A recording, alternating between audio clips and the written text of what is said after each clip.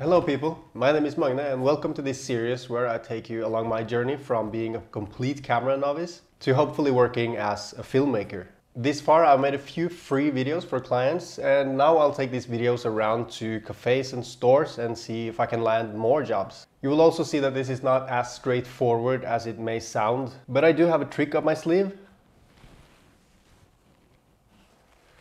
that will definitely help holding me accountable when things get difficult.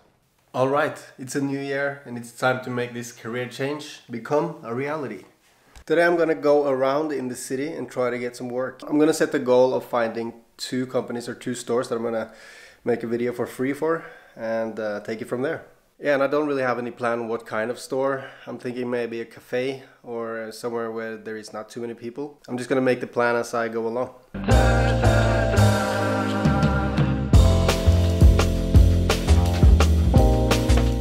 Some days are more difficult than others. Today was the first day in a really long time I did this cold calling. So I walked around for half an hour coming up with all kinds of excuses not to approach any stores. Either it was too many customers inside or they sold the wrong products, but then something pretty interesting happened. I was approached by a street seller of some kind, but I quickly responded that I needed to get going. But this micro interaction got my social extrovert engine going, so now I finally had the courage to walk into a store that creates customized tables. The guy in the store was super friendly and we discussed for a while what kind of video that would be suitable for him. He was busy for the next few weeks but he wanted a video so I'll present him with a video idea or an outline in a few weeks time. With this momentum I went into a food delicacy store. Jeg kommer innom fordi jeg har akkurat begynt å lage litt Instagram-videoer Ja. til forskjellige litt butikker og kafé.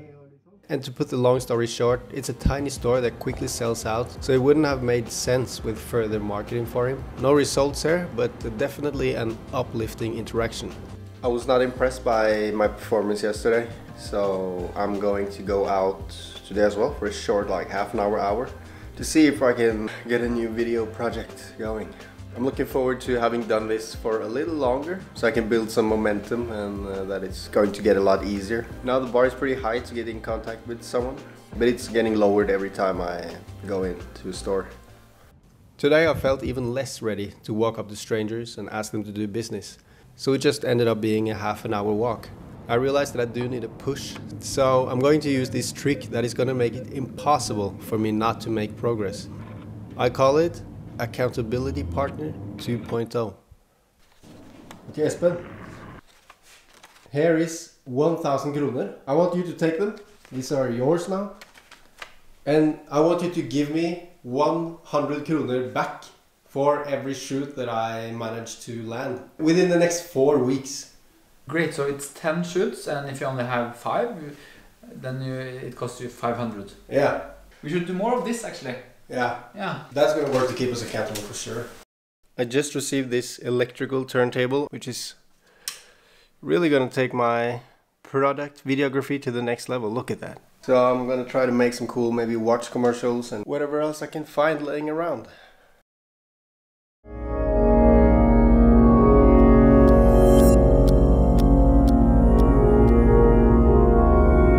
I think this is the perfect time to get into product photography and videography because for a long while now there's been the tendency towards people buying more things online instead of in stores. And with the pandemic, things are just going even faster with uh, the store closures really just getting more and more frequent and people staying inside and of course buying things online at a greater rate. So that means that there's going to be higher competition to get people's attention online.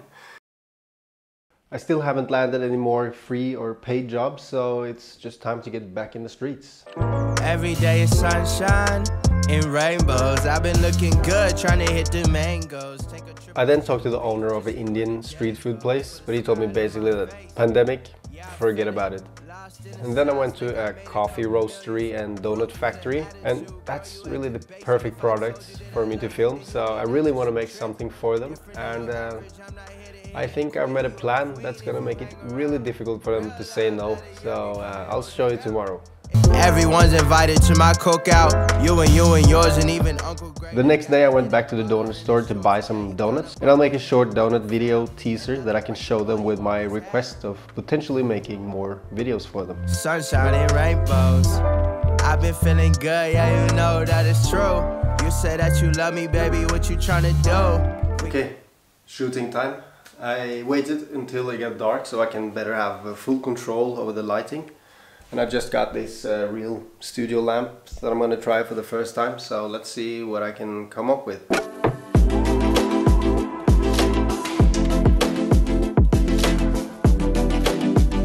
Yeah, when you don't have all the gear you need, then you just gotta work with what you have.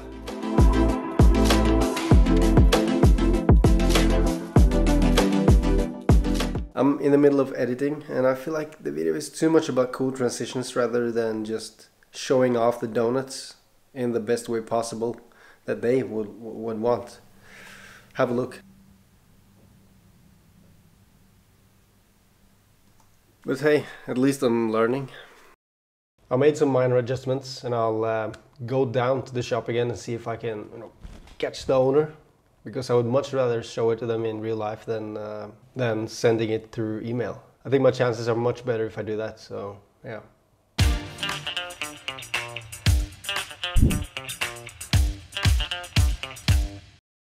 In my client hunt today, I'm getting some assistance from my friend Espen.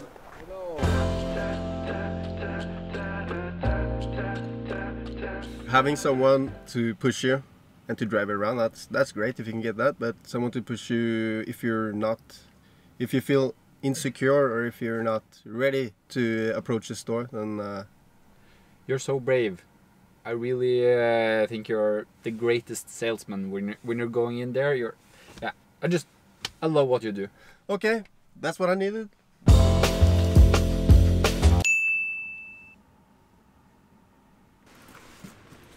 yeah like that was gonna work?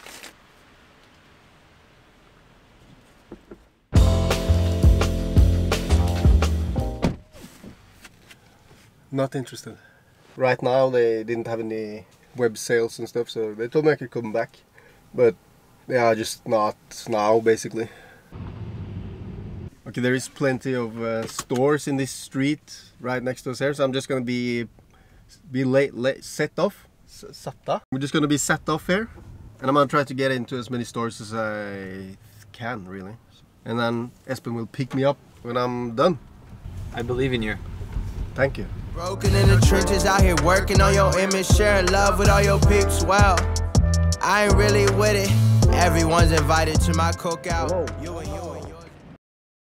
Okay, I um, managed to get into three different places. The first store, uh, they already had a photographer, videographer, so nothing there. Yeah, and then I went to uh, like a olive delicacy store that sells olive oils and that kind of stuff. It was a pretty small brand, and they were trying to do most of their videography by themselves. So she told, she gave me the email and told me to send the mail. So I, I'll try.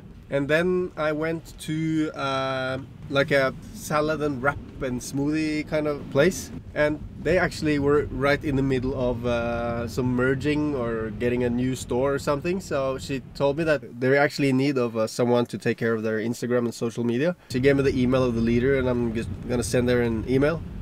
And she was very positive in general because they actually need it. And this last place I went to was another food delicacy, olive uh, olive oil, Italian French kind of place. And they have 16 different stores in the in the country or in the city. And she told me that their photographer is going on a maternal leave, if that's if that's what it's called. Maternal leave, right? Uh. Perfect timing. And they also had a video done by a freelancer not long ago, and she was very proud of that video and told me to check it out and to see what kind of style they go for. I'm I'm hopeful. I'm hopeful. Hmm. I'm really sorry for the bad filming quality when I'm out and about. I just find it so awkward to film outside, just in general, and especially when I'm out in the store and I'm talking with people and sort of sneak filming. It needs to be less shaky. And if you haven't watched the first couple of episodes in this series, you can uh, see them here. And I'm gonna write those emails to the stores I just went to and uh, just sit and wait for replies. Yeah, they're not gonna reply, are they? Yeah, I might need to get out there again. I don't know. We'll see in the next episode.